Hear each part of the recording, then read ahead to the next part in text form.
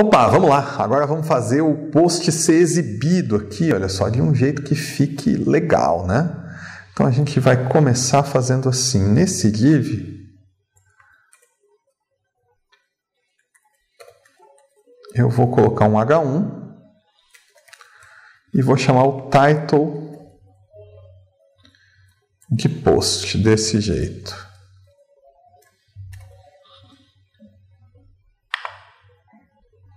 Então vou buscar lá as páginas, clicar aqui numa página e olha aí que legal, já está um pouquinho melhor.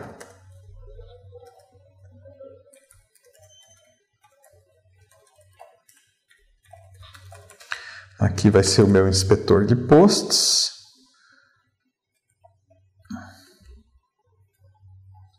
E aí vamos fazer assim, olha só. O inspetor tem o H1 dentro dele. O H1 dentro dele tem um background escuro, com uma cor branca, com um padding de 5 pixels, 10 pixels.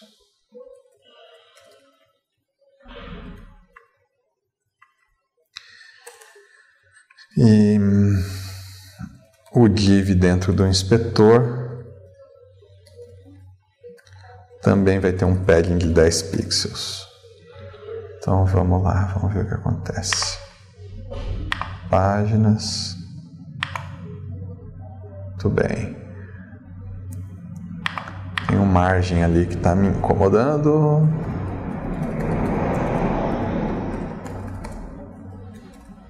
Colou lá em cima, legal.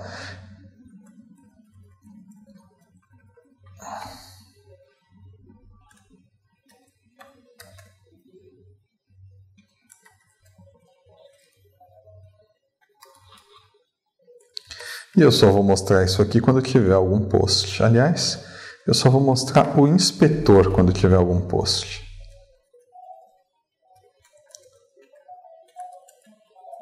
Assim. Beleza? Tá aí. Legal? Aqui embaixo a gente vai mostrar o conteúdo. Um... Esse site do WordPress, eu acho, e aí esse é um negócio que você pode ligar e desligar lá nos settings do seu WordPress. Eu acho que eles não oferecem o conteúdo aqui na API. Não, mas eu estava aqui nos grandes sites brasileiros e tinha aqui o da TV Gazeta. Eu não sei se eles oferecem, vamos ver.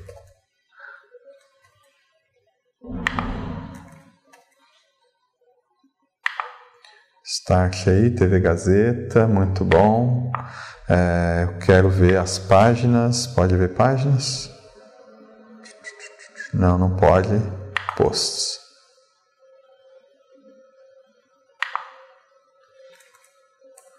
Aí, posts, legal.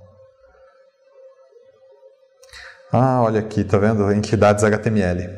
Eu vou cuidar disso já já. Mas eu quero ver é isso aqui, olha só. app.post. É um objeto que tem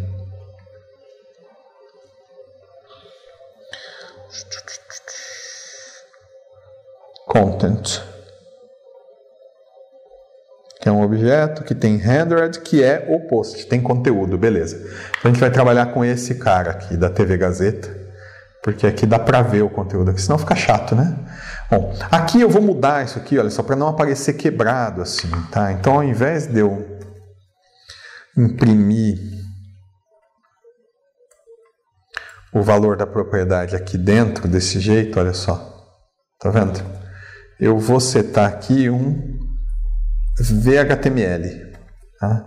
Essa diretiva aqui, e aí aqui é sem as chaves, view que o resultado dessa expressão tem que ser o HTML dessa LI. Legal? Então, deixa eu botar o da TV Gazeta lá como padrão.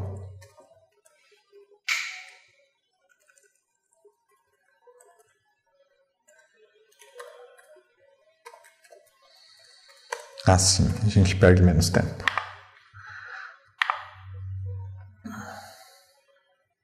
É, páginas aqui não tinha. Aí, olha lá, que beleza, hein? Faltou tratar o erro, né? Você notou que, puxa, ó. a gente cuida disso depois, tá? Não se preocupa, não. É, muito bom. Vou clicar num qualquer aqui, tá lá. Olha aí, tem que fazer a mesma coisa lá. Setar o HTML aqui, né?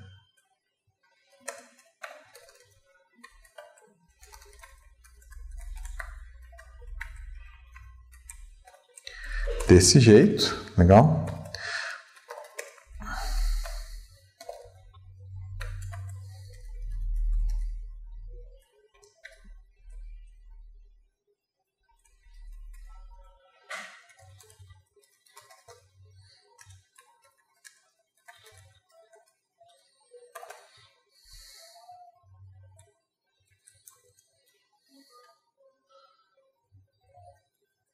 E aqui eu vou colocar o conteúdo do post ou o excerpt do post.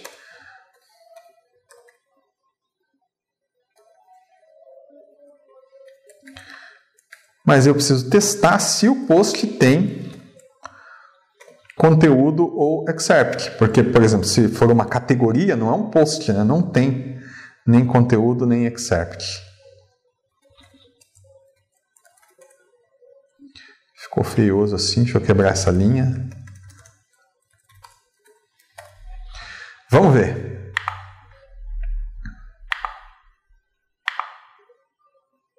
Tá lá. Inclusive entrou o vídeo aqui, que beleza.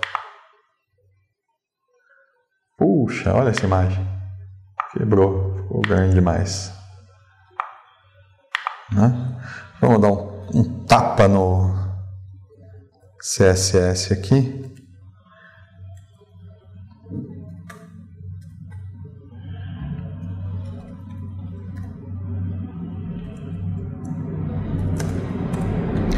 Tudo dentro do div, mas que é filho direto dele, vai ter max width de 100%.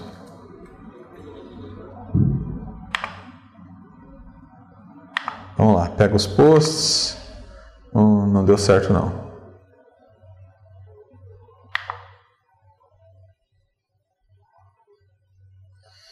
Ela tem um widget próprio aqui. Ah, e ela está dentro do P e tudo mais. Não vai funcionar do jeito que eu queria. Não é tão simples assim. Claro, né? Que mais? É imagem e iframe, né? iframe vai ter bastante por causa do embed de vídeo.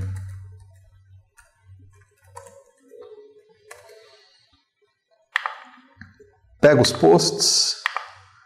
Tá lá. Uh, quebrou, né? Por causa da altura.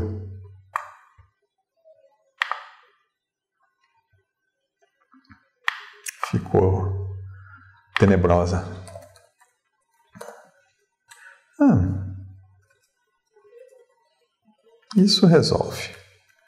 Então vamos setar aqui o max width do iframe e para a imagem a altura vai ser setada como alto. Isso aqui vai resolver o problema. Olha lá. Posts. Tum, olha aí. Legal. Beleza. Funcionou. Ah, que beleza, hein?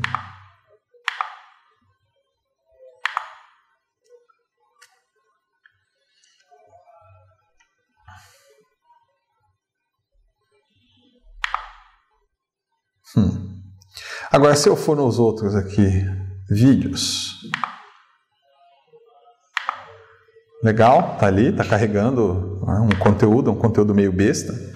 Mas ele tinha metadados que eu não estou vendo. O próprio post tinha metadados que eu não estou vendo, né? Então eu queria poder ver os outros metadados aqui. É o que a gente vai fazer no próximo vídeo. A gente vai construir aqui uma tabela. E essa tabela vai ter os metadados todos do post, beleza? Tá curtindo? Clica no joinha, cara, pra gente saber que você tá curtindo, pra gente saber que tá legal, beleza? Valeu!